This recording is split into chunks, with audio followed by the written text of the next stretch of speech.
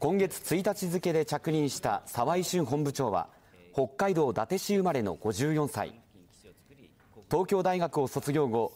関東運輸局の企画観光部長や内閣参事官などを歴任し今回初めて生まれ故郷の北海道を管轄する一管本部のトップに着任しました。海上における安全と安心の確保。ということが海上保安庁のに与えられた使命でございます。使命を全うし道民の皆さんの期待に応えられるよう、えー、全力を尽くしてまいりたいと。またおととしの知床沖観光船沈没事故について